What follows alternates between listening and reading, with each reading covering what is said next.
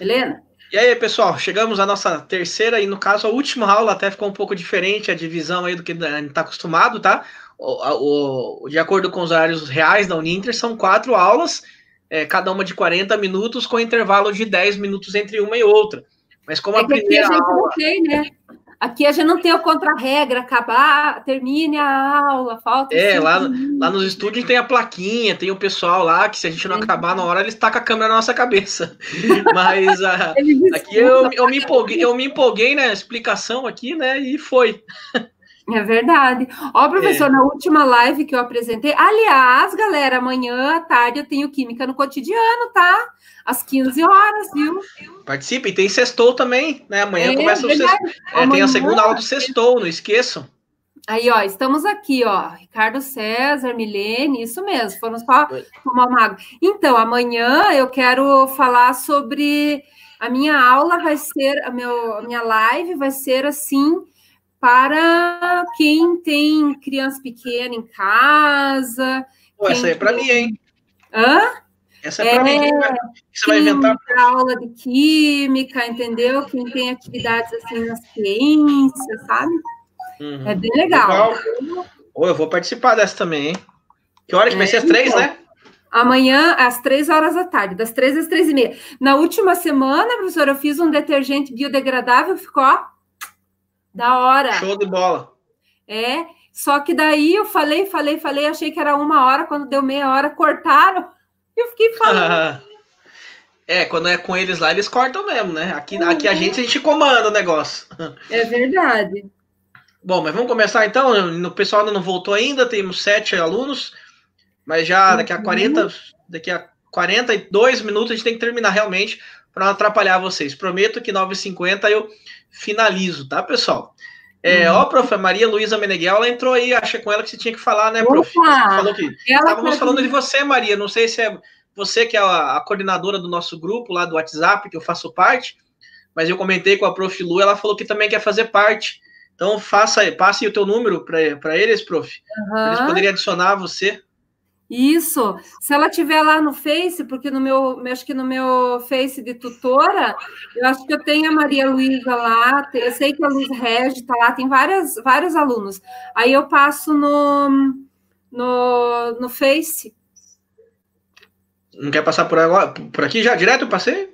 É? Bom, é, não, tanto, tanto faz, depois você pode passar por lá então. É, porque aqui eu não consigo responder ao pessoal depois, entendeu? Daí fica meio. Ah, é, você tá sem resposta, né? Uhum. Mas vamos lá então, pessoal. Começar na sala, o povo tá entrando aí já, né? Uhum. Tu, Milena, seja bem-vinda, Márcia, o Brendo, é, Breno Brandão. Então, Breno, é, o Breno falou assim, ó, tipo sabão de cozinha. É mais ou menos então, isso que você havia uhum. feito, né? É, eu fiz detergente, eu fiz um detergente a partir de de sabão de coco, né? Um detergente biodegradável, a partir de sabão de coco, álcool, bicarbonato, coisas que você tem em casa. Eu quero fazer, eu vou pegar com a minha tia a receita, né? Porque a gente também desenvolve umas coisas aqui em casa meio por conta, né? Eu quero, a gente fez, ela fez um sabão, um, para dar brilho, gente, nas panelas, assim, sabe? Nossa, maravilhoso. Tudo com coisa que você tem em casa, você não precisa sair gastando, sabe? Comprando. E o legal é que são produtos biodegradáveis, né? Eles não são tão fortes, né? Então, maravilha. É, é bom. Bom, vamos lá então, pessoal, para o nosso terceiro. Então, Brendo, tava. A, a, aula que, a aula da semana que vem seria comigo, mas agora eu dei as três aulas e a prof amanhã é, não, amanhã não, no caso, na outra né? quinta-feira, que você já está convidado no mesmo horário, seis e meia, a prof vai tomar conta. Então eu vou falar justamente do que eu falei e queria comentar na semana que vem, que é sobre os números quânticos. Lembra da primeira aula que você perguntou, Breno? Então eu vou te dar a resposta é, agora. Né? Então vamos lá, vamos começar aí é, com o nosso, nosso, nosso tema. Prof, tá ficando, em, tá ficando branco a tela aí ou tá aparecendo? Tudo preto aqui, não sei o que, que houve. Tá Pera tudo aí, preto. Eu, a minha também. Deixa eu voltar aqui a minha, a minha, a minha, a minha tela. Vamos ver se eu consigo aqui. Ficou preto, também tô vendo aqui. Eu tô com uma aberta do lado para ver como é que vocês estão visualizando. Espera aí que deu pau aqui. Vamos tentar. Por isso que é bom ter um computador do lado aqui com o retorno, eu consigo ver certinho o que está acontecendo. É. Acho que agora vai dar.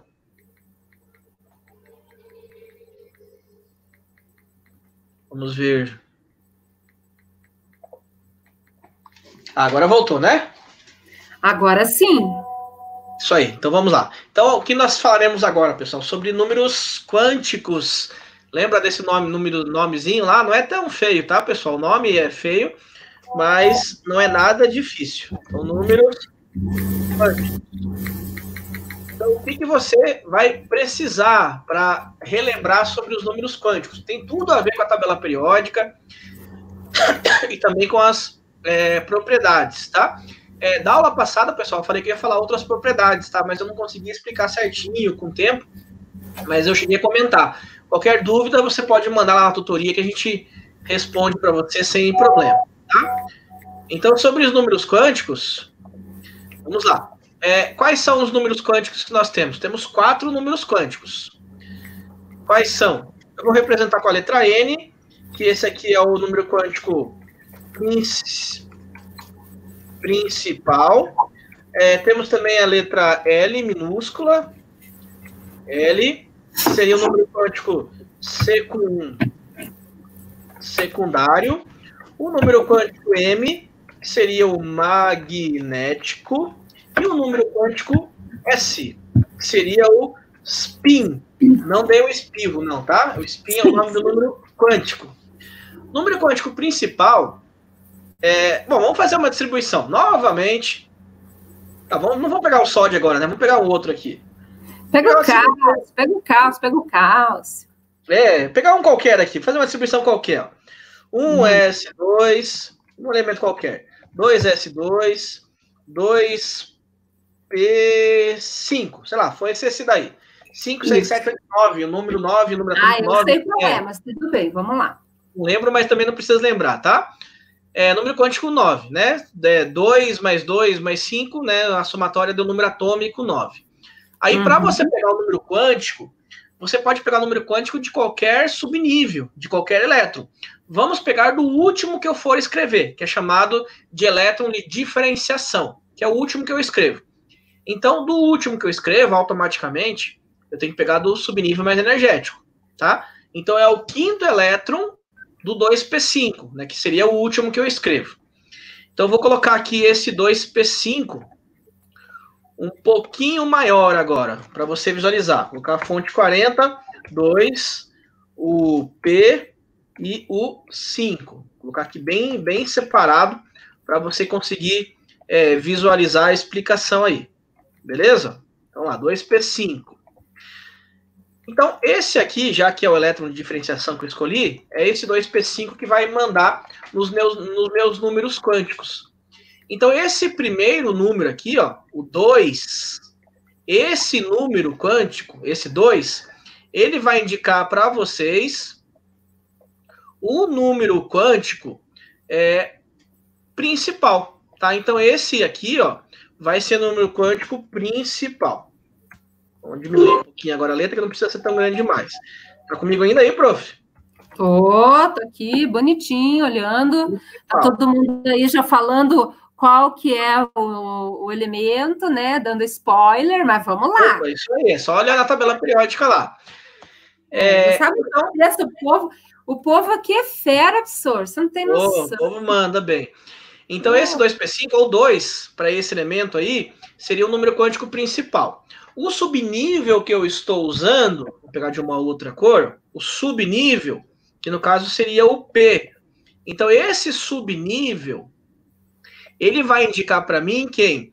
O número quântico é secundário, tá? Então, esse aqui vai indicar para mim o número quântico secund... secundário. Beleza? Então, esse é o número quântico aí. Número quântico secundário vai ser indicado pelo subnível que você está usando. E o número de elétrons, vou colocar de marronzinho aqui, ó. O meu número de elétrons, que nesse caso aqui seria o 5, ele vai indicar para mim o quê?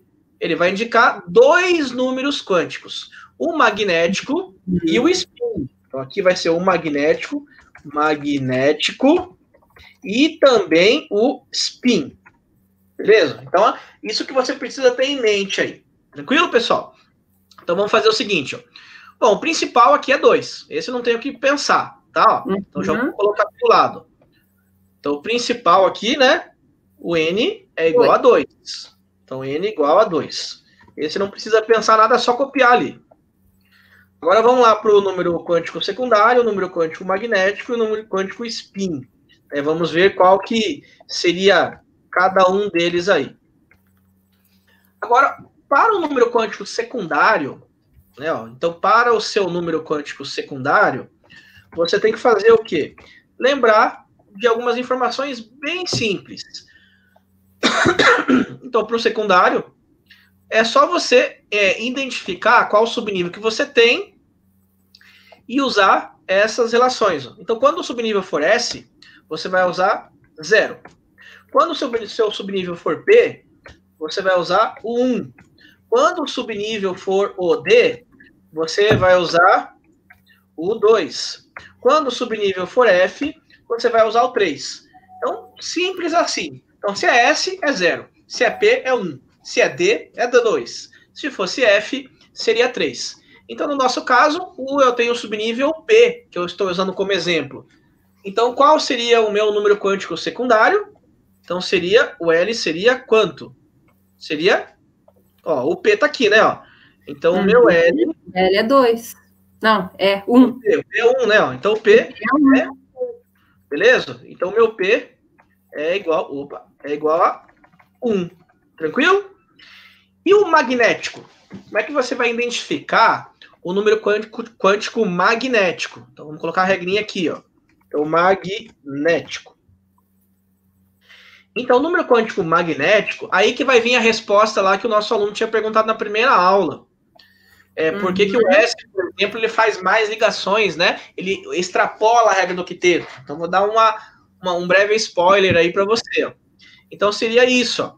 O S, o P e o D e o F, eles têm uma quantidade de subníveis, certo? E aí tem em mente o seguinte, ó, a quantidade de subnível, né, de, é, é a metade da quantidade de elétrons que tem em cada, de cada, desculpa, nível não, vamos, vamos voltar, volta, volta, volta que eu falei besteira. Orbital, orbital. A quantidade de orbitais é a metade da quantidade de elétrons que tem em cada subnível. Tá? Essa, essa, essa é a informação correta. Quantidade uhum. de orbitais é a quantidade de elétrons dividido por 2, né, que seria o máximo. Então, quantos elétrons que é o S? 2. Quantos orbitais que ele vai ter? 1. Um. É a metade. Tá? Então, vamos colocar aqui. Ó. É, e lembra como é que eu represento o orbital? É aquela caixinha, né? Então, eu represento na forma de caixinha. Ó. Então, aqui seria para o S. Então, seria para o S. Então, você vai ter que lembrar isso, tá, pessoal? Para conseguir entender o número quântico magnético. E o P? Quantos elétrons que ele tem no total? São seis. Qual a quantidade então, que ele vai ter de orbitais? A metade. Serão uhum. três. Tá? Então você vai ter a divisão aqui, ó. Três caixinhas. Tá? Então, três orbitais. Ficou feio esse aqui, né? Vamos fazer bonitinho. Então, aqui você teria três orbitais, ó, que seria referente ao teu subnível P. E caso eu tivesse o subnível D, né? Então, o D, quantos orbitais que você teria? O máximo Sim. de elétrons são 10, né? E então o número de, o número de orbitais a metade, 5. Então vamos colocar aqui, ó. Então, 1, 2, 3, 4, 5 cinco orbitais. Muito grande. Caso fosse o subnível F, né, que você estivesse usando, o número máximo de elétrons é 14. Então, o número de, é, de orbitais é a metade. Ou seja, uhum. 7. Beleza? Então, vou colocar aqui, ó. 1, 2, 3, 4, 5, 6 e o 7. Beleza, pessoal? Agora sim, ó. Tem que aparecer número, né? Porque é número quântico. Onde está aparecendo uhum. número? Nessas caixinhas do meio, vai ser o número zero. Na caixinha, então tudo que for é, caixinha central, você coloca zero. Uhum. É, e essa caixinha central é zero. Esse do D, essa aqui é central. Colocando nas centrais o número zero. No F, da mesma forma. Essa aqui é central. Você coloca o, o zero. Beleza? Agora, para a direita, você aumenta uma unidade. Aqui vai ser ó, mais um no P. E para a esquerda, você subtrai uma unidade. Aqui seria o menos um. Beleza? E se fosse o D, da mesma forma, para a direita aumenta uma unidade, ó, mais um aqui, na próxima caixinha, mais dois. E se fosse para a esquerda, você subtrai as unidades. Menos um aqui nessa primeira caixinha, no primeiro orbitalzinho, né? E aqui seria menos, menos dois. Beleza? Uhum. Então, esses números aí, ó, são as possibilidades que você tem para cada subnível. E o F, mesmo esquema. Então, para a esquerda, ó, menos 3, depois, ó, menos 2, depois, menos 1, depois, ó, mais 1, depois, mais 2, depois, mais 3. E assim, né, você fecha as possibilidades dos seus números quânticos. Vou colocar aqui que caiu, menos 3, menos 2, menos 1, aqui fica mais 1, aqui fica mais 2, e aqui fica mais 3. Beleza? Uhum. Algum que vai ser uma possibilidade, tá? Então, no nosso caso, é o P. Então, eu vou selecionar o subnível P. Então, vamos separar ele aqui, ó. Então, subnível P. Vou colocar ele aqui, ó, do lado aqui. Uhum. Tá bonitinho isso aqui? Eu sou meio, que nem a prof, a prof falou, sou, eu gosto de fazer as coisas bonitinhas. Reter um toque. É, não consigo deixar as coisas meio tortas. Esses números que não estão retinhos já também já estão me incomodando, mas isso eu vou deixar assim mesmo. Beleza? então, esse é o... tem um ouro bem do meu lado, que eu vou tirar ele daqui. Agora, para você conseguir os números quânticos, eu vou ter que dar uma informação para você. Que essa informação geralmente você encontra em enunciados de questões. Considere, ó, considere o primeiro elétron a entrar nos subníveis com valor de menos 1 sobre 2, menos 1 meio. Então, o spin, ele só pode ter dois valores, ou menos um meio, ou mais um meio. Somente um desses dois valores, tá? Não existe outros valores para spin. Ou é menos um meio, ou mais um meio. Por que meio? Porque cada orbital, cada caixinha, cabe em dois elétrons, certo? De dois elétrons, você só vai analisar um deles, ou seja, a metade. Tá? Esse meio representa que vai ser analisado a metade dos elétrons que tem em cada caixinha, em cada orbital. Então, se você considerar que o primeiro é o meio, lembra como é que você representa elétron? Como é que eu posso fazer o elétron? É, são setinhas, tá? Então, essas setinhas, vamos fazer o seguinte agora. Eu vou aumentar um pouquinho aqui para você, né, para ficar bem mais fácil você visualizar. Aumentei o P. Agora eu vou colocar as caixinhas, os elétrons aqui dentro. Quantos elétrons que eu vou precisar é, colocar? Cinco né, que seria justamente o número que está aqui em cima. E aí você vai colocar o primeiro elétron, ó, coloquei o primeiro elétron. A setinha que você vai decidir, tanto faz, se vai ser para cima ou para baixo, tá? Então coloquei o primeiro para cima. Então eu sei que essa caixinha que é o primeiro que eu coloquei, ó, para cima. Então eu sei que esse primeiro que eu coloquei, que é o para cima, o spin é igual a menos 1 sobre 2. Que eu coloquei isso como informação para vocês aqui, né, ó. Considere o primeiro elétron com valor de menos um meio. Então, tudo que for igual a esse, a esse elétron será menos um meio. E aí, pelo princípio de exclusão e princípio de preenchimento de, de orbitais, é que é a regra de Hund, é, você vai colocar um elétron de cada vez em cada orbital. Você não hum. pode colocar o mesmo orbital aqui. Por exemplo, vou fazer de forma errada primeiro. Tá, ó. Coloquei um elétron, coloquei dois elétrons aqui com spin invertido. Não pode, tá? Você tem que fazer o quê? Se você colocou no primeiro orbital, agora você tem que ir no segundo orbital, colocar o segundo elétron com o mesmo spin, menos um meio. Aí vai no terceiro orbital, menos um meio. Depois que todos estiverem preenchidos, caso você ainda tenha elétrons para colocar, você inverte os spins. Por que inverter o spin? Pensa que é um imã spins com é, elétrons com o mesmo spin é como se você quisesse colocar polo norte com polo norte, ou carga positiva com carga positiva. Isso é legal colocar? Polo norte com polo norte, no caso do ímã. Ou positivo com positivo. Eles querem ficar juntos? Não querem ficar juntos. Isso vai ter uma repulsão. Então, para ter uma atração entre esses elétrons, você precisa fazer o quê? Colocar o polo norte com o polo sul. Ou então colocar o positivo com o negativo, porque eles se atraem. Tá? Então, se o primeiro eu coloquei negativo, o segundo no mesmo orbital tem que ter uma atração. Então, eu coloco com spin para baixo. Então, ó, comecei a inverter para baixo. Qual que vai ser o spin para baixo? Lembra que o primeiro que eu coloquei era para cima, era menos um meio. Agora está invertido. Uhum. Então, tudo que for spin para baixo vai ser mais 1 sobre 2. Quantos uhum. elétrons eu coloquei até então? No primeiro aqui, ó, eu coloquei dois, dois elétrons, né? Duas setinhas, dois elétrons, mais um aqui, ó, três, mais um aqui, quatro. Eu preciso quatro. colocar quanto no total? Cinco. Então, o meu elétron diferenciação vai ser justamente esse último aqui, ó. Uhum. Então, vamos dar para você visualizar ele. Vou colocar de vermelho. Então, esse último que eu coloquei, que é justamente o meu elétron de diferenciação, é ele que vai mandar no meu número quântico magnético. Então, qual a caixinha, qual orbital que eu parei esse último? Parei na caixinha zero. zero. Ou seja, o, o meu número quântico magnético vai ser zero. zero. Que é justamente a posição que eu coloquei elétron diferenciação. Fale, prof. É, Para você tomar uma água aí, então, quero ver aqui, cadê? Quem que me falou? É, o Rude Michael, né? Ele quer entrar no se inscrever no curso de Química, olha só, ah. bacharelado, só que ele não está conseguindo. Já falou com Deus e o mundo e não destrava o vestibular.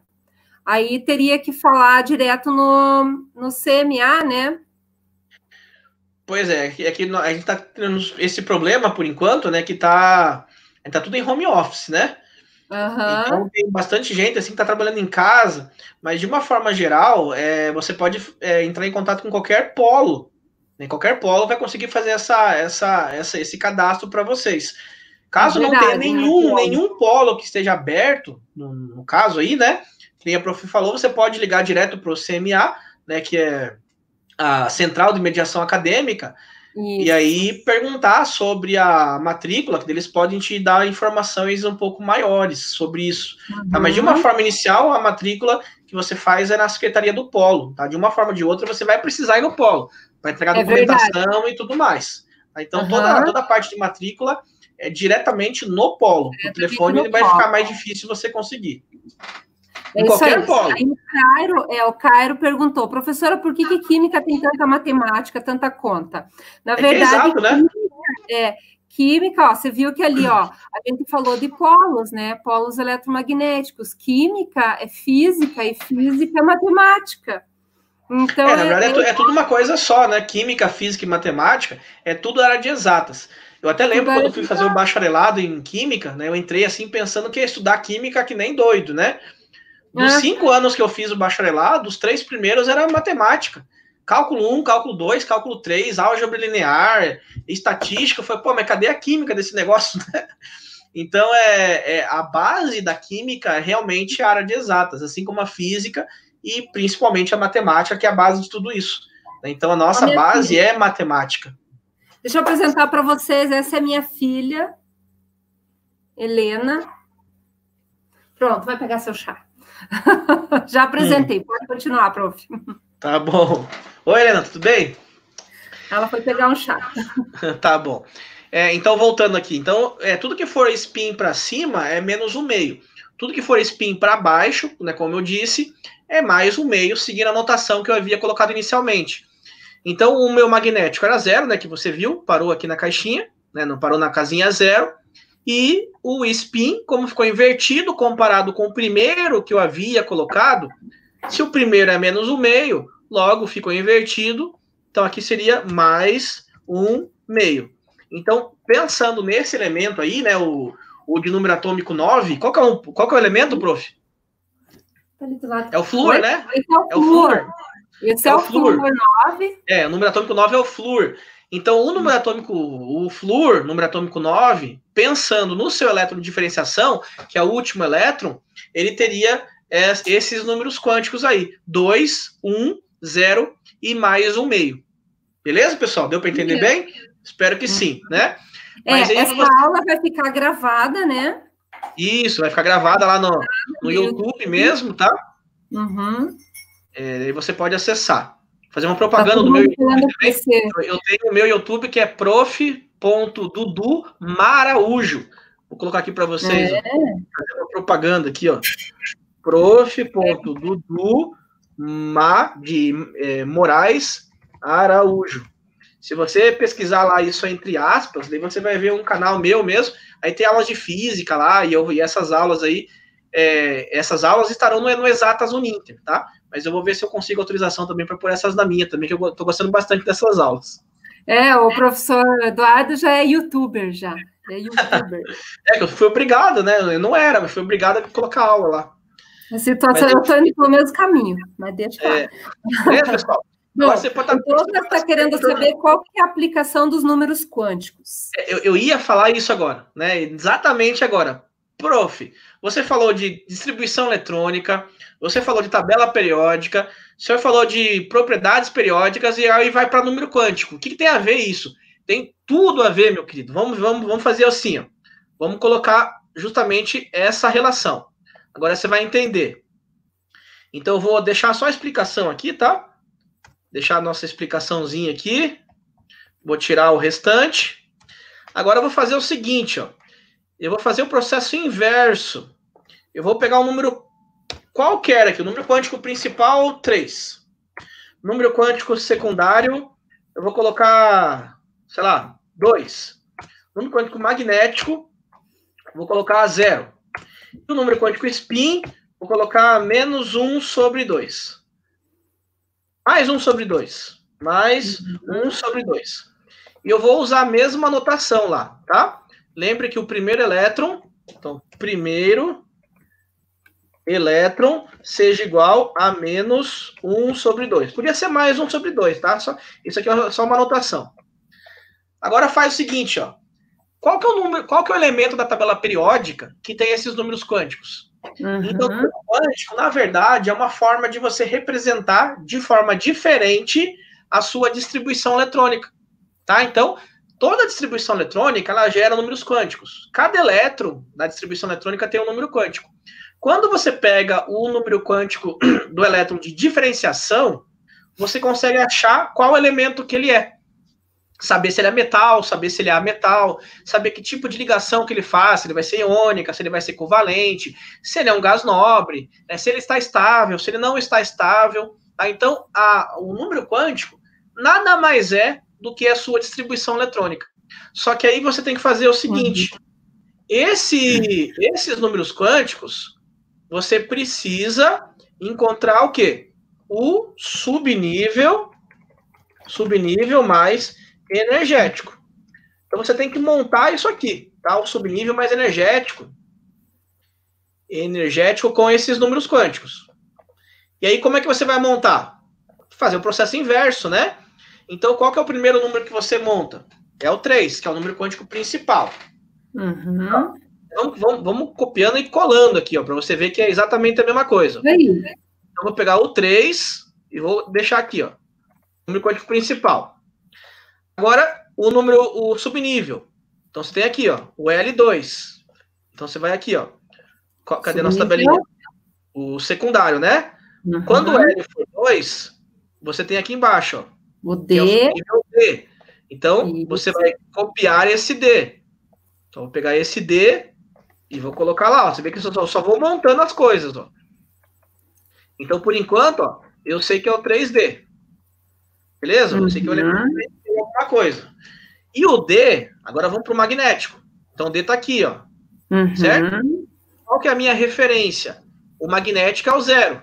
Então o magnético zero, ele está aqui, ó. Certo? Está aqui, ó. Então vamos pegar o meu subnível D. Uhum. Aqui, ó. E agora nesse subnível D, vamos colocar os elétrons. Quantos elétrons que eu preciso? Vamos ver. Eu vou colocar aqui, vou aumentar um pouquinho para ficar mais fácil você visualizar. Vou deixar bem grande aqui, ó. Olha agora, no, agora no D, ó, eu vou colocar os elétrons. colocar o primeiro para cima.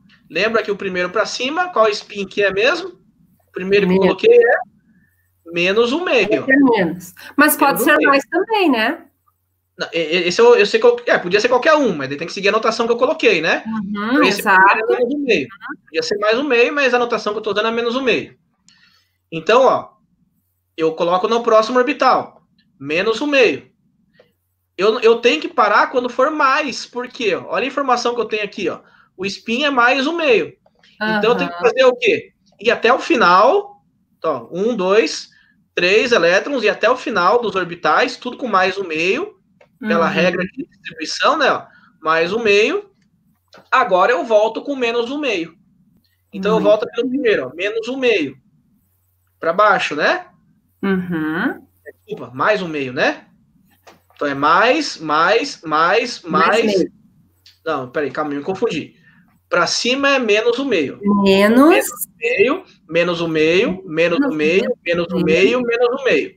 Agora eu, voltar, agora eu vou voltar como mais o meio. Isso. Para baixo mais o meio. Qual que é a casinha que eu tenho que parar de colocar elétron? Aqui, ó. No, no magnético zero. zero. Então a minha referência tá aqui, ó. O uhum. zero. Então eu tenho que colocar elétron até chegar no zero. Então eu coloco mais um aqui e mais um aqui. Cheguei no zero. Quantos elétrons eu coloquei? Só, só contar setinha.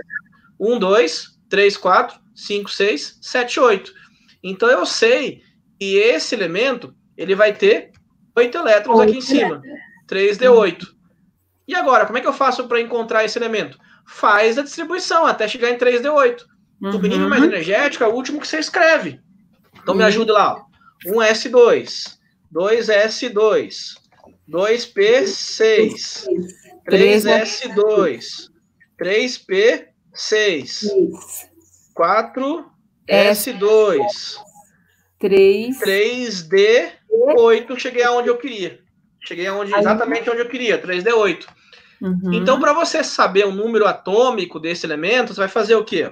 Soma os valores de cima. Né? No caso ali, do, o que eu coloquei por último. Dois elétrons, mais dois elétrons, mais seis elétrons, mais dois, mais seis, mais dois, mais oito.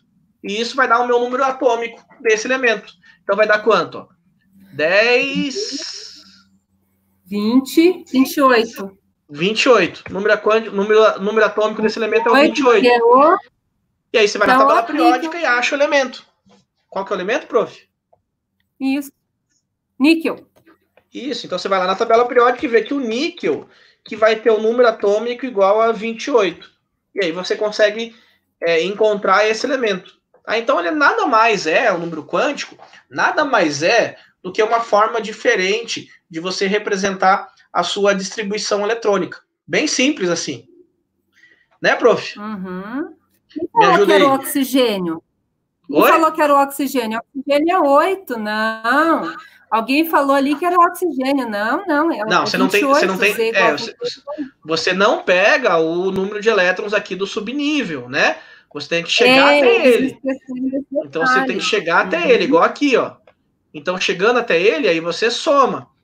Daí você vai somar uhum. esse aqui, ó, dois aqui, aí você soma os outros, né? Vai somando todos os outros, ó. Uhum. Mais, mais dois aqui e assim por diante. Parece aquelas brincadeiras assim de tipo charada, né? É, não deixa de ser, né? Mais ou menos isso. É bem legal isso, sabe? É uma coisa assim para. Uhum. Tudo certo, povo? Entendeu? Beleza, e, Breno, então. E para responder a tua pergunta, por que, que o enxofre ele faz mais ligações? E a gente finaliza a aula com essa explicação.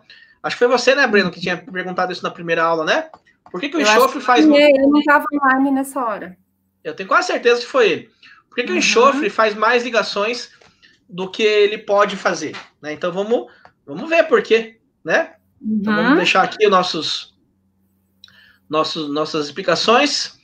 E vamos pegar uhum. um número, vamos pegar o enxofre, vamos explicar. O enxofre, ele tem número atômico 16, só confirma aí, prof. 16, é porque a metade deve seria, deixa eu ver, cadê o enxofre aqui? É 16. Uhum. É, então S2, 2S2, 2P6, vamos fazer a distribuição.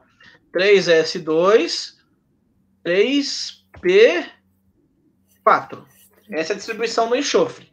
O enxofre é metal ou a metal? Vamos juntar tudo que a gente viu até agora. Você pega a camada de valência. O que é a camada de valência? 3S2 e 3P4. Tudo isso é camada uhum. de valência, que são os maiores números. Então, uhum. a camada de valência, que é a terceira, que é KLM, né? Então, a M uhum. vai ser com 6 elétrons. Vamos usar a regra do octeto de forma simplificada, tá? Tem que ter 8 uhum. elétrons na camada de valência. Ele tem 8? Não, não tem. Né? Ele tem 6. Ele precisaria ganhar mais 2 elétrons. Então, você faria assim, ó. O S no jeito convencional dele, no jeito é, fundamental, vamos falar o nome certo, né? Fundamental, uhum. ele precisa fazer quantas ligações? Vamos ver. Vamos colocar os elétronzinhos que estão acostumados aqui, ó.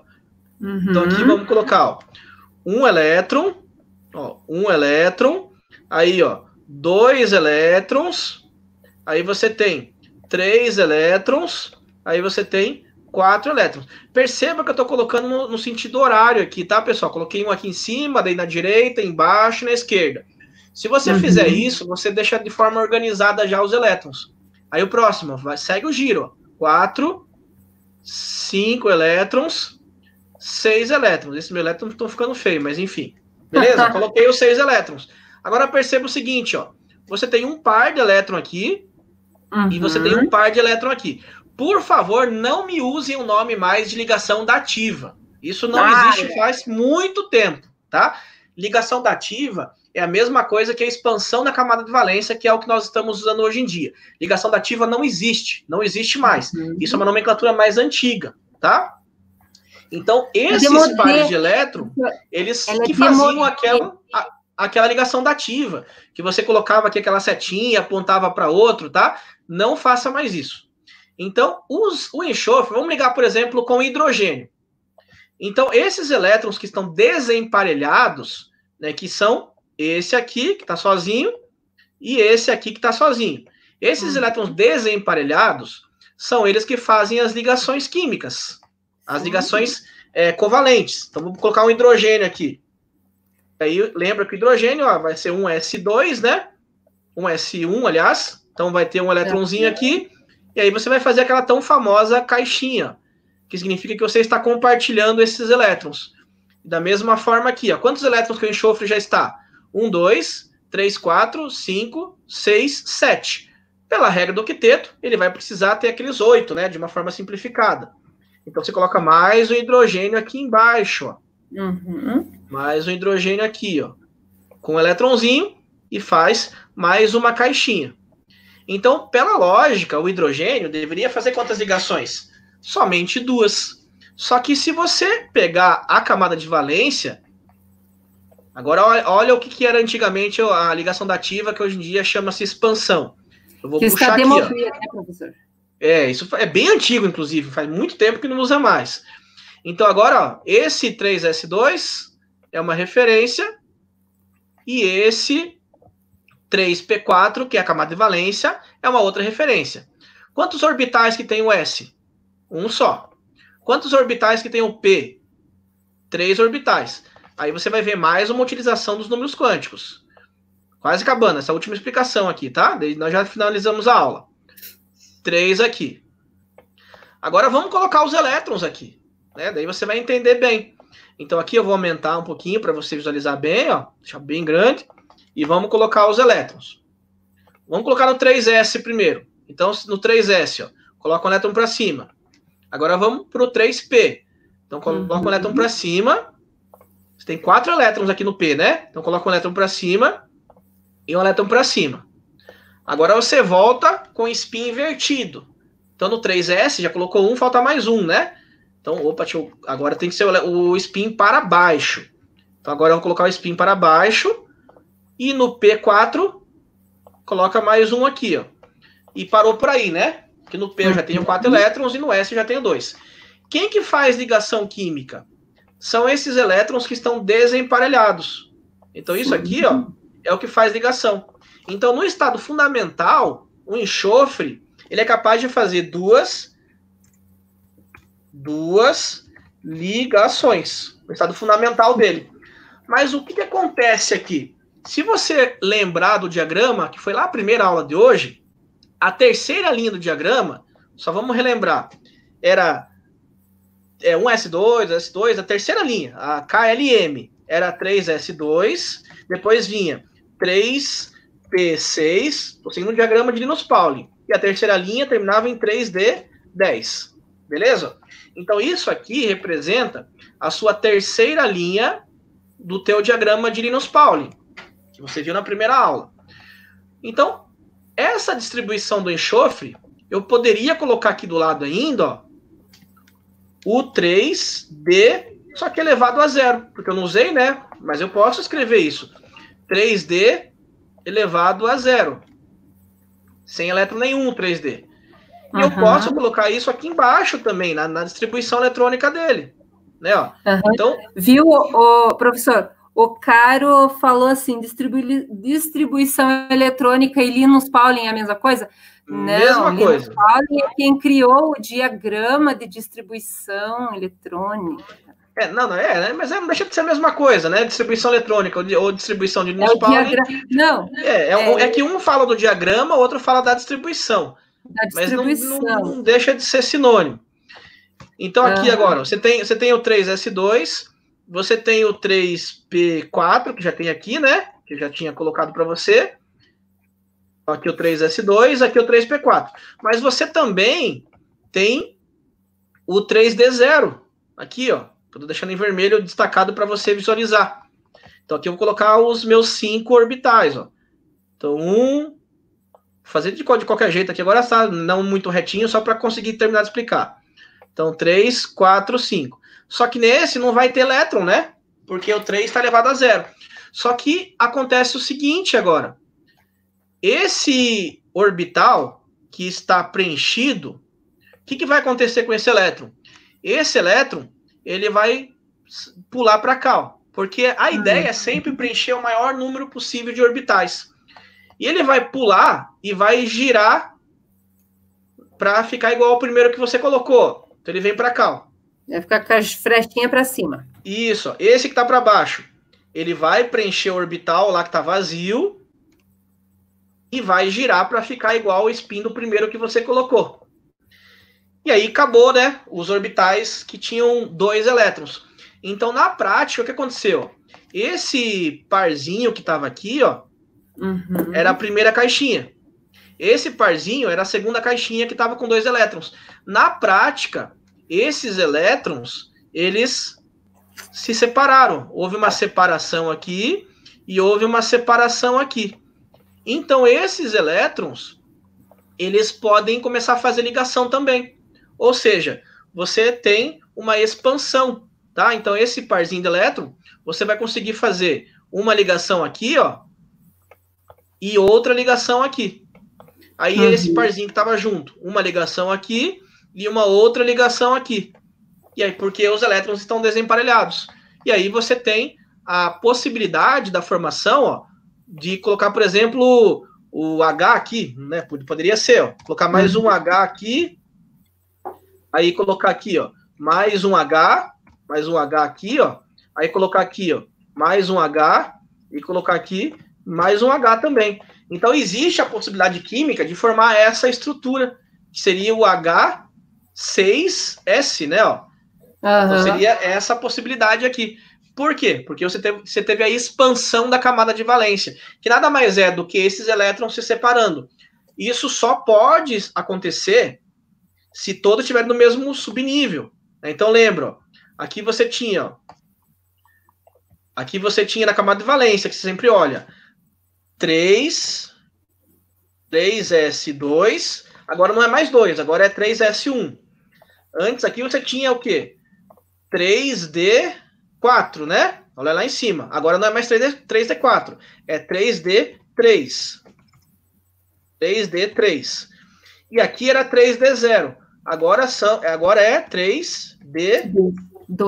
2. E quando você junta isso aqui, isso aqui é hibridação. Então, a hibridação desse enxofre, quando ele faz as seis ligações, é 3S1, 3D3, 3D2. essa é a hibridação desse elemento aqui, ó. Então você vai colocar, ó, que é S1, D3, D2, que é a hibridação justamente desse enxofre que fez essa expansão aqui, ó.